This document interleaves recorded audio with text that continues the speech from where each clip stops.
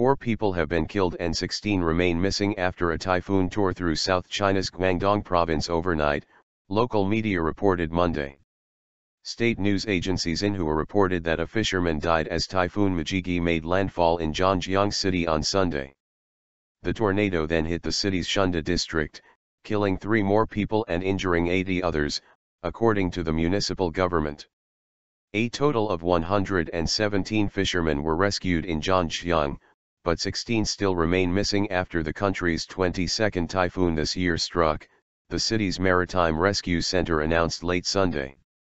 Xinhua said storms are expected to last throughout Monday, while Guangdong's relief headquarters elevated the emergency warning system to the highest level at 9 a.m.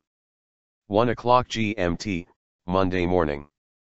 The typhoon also caused widespread electricity blackouts in Zhanjiang, where the water was also cut off.